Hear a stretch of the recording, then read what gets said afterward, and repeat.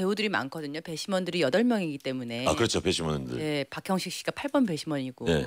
다른 이제 일곱 명의 배심원들 중에 두 분은 저보다 연배가 많으시지만 나머지는 어, 세 분이나 많- 조한철 씨도 많- 나보다 네. 많네. 근데 다른 배심원들이 전부 다 음. 쟤는 언제부터 누나라고 한 거야? 아. 이러면서 질투했네. 질투했어. 어, 질투했네. 영화 끝나고 어. 한달 뒤에 저도 누, 누나라고 해도 될까요? 어. 이러더라고요. 그래서 아니 왜 못해? 형식이는 첫날부터 했는데 했더니 쟤는 첫날부터라고요? 이러면서 굉장히 어. 놀라워했죠. 죄송한데 저도 그럼 누나라고 해도 돼요? 어, 뭐, 내안 할게. 요 죄송합니다. 죄송합니다. 이게 같이 작업을 해야 그러니까요. 되니까. 어, 오늘 가- 괜찮- 나와주셔서 가- 감사합니다 누나. 어,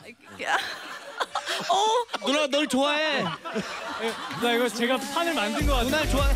네, 죄송합니다. 날 좋아해.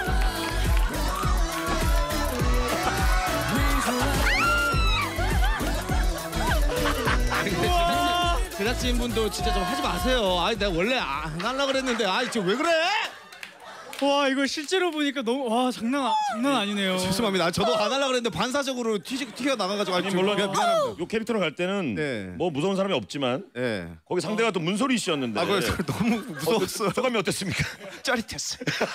어 압도적이에요. 파워 파워풀해요. 오. 어, 이제 누나를 부를 수 있을 것 같아요. 이제 나 잠깐 나갔다 와도 되겠니?